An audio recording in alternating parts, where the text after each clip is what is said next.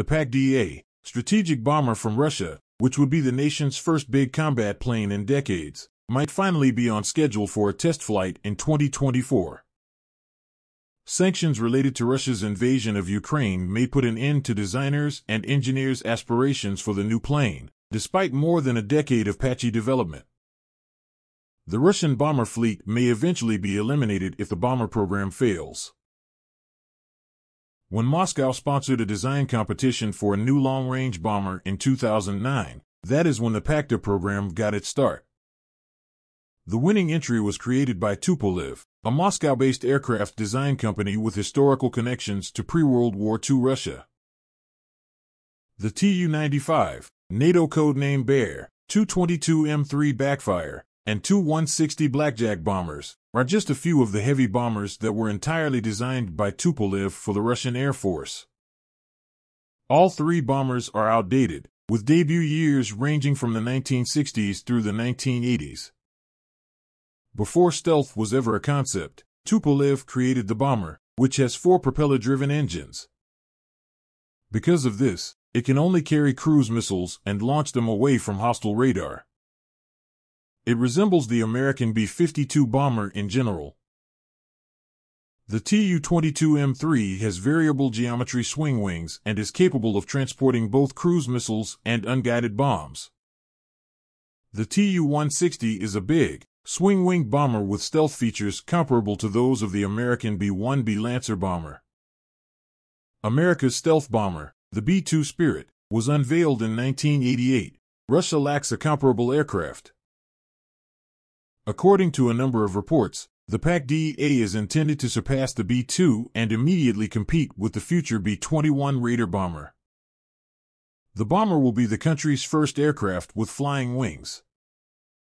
At launch, it will weigh 145 tons in metric, with a maximum weapon payload of 30 tons.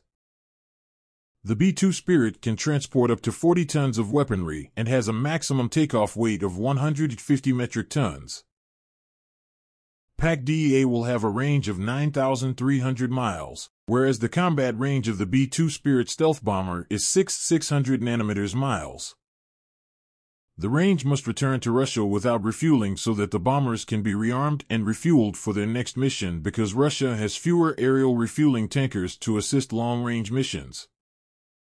Over the duration of a long-range mission, American bombers can anticipate more tanker support, allowing planners to give payload priority over fuel. The new Tupolev will be given a new ground assault cruiser by Russia. Like the PAK-DA itself, the new missiles have been under development for years without making any notable strides.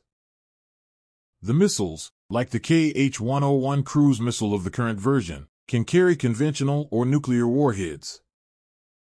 They will also have a range that is even greater than the KH-101, a cruise missile with the longest operational range in the world, 3,400 miles.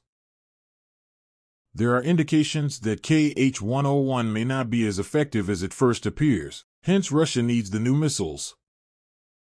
The KH-101 missiles are said to be low observable, which means they have certain stealth qualities to make it harder for an enemy to find them.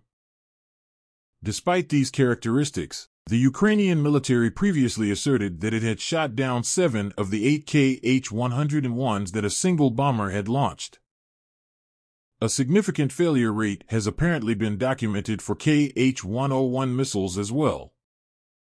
This strongly implies that for PAK-DA to be effective in battle, a new cruise missile is required.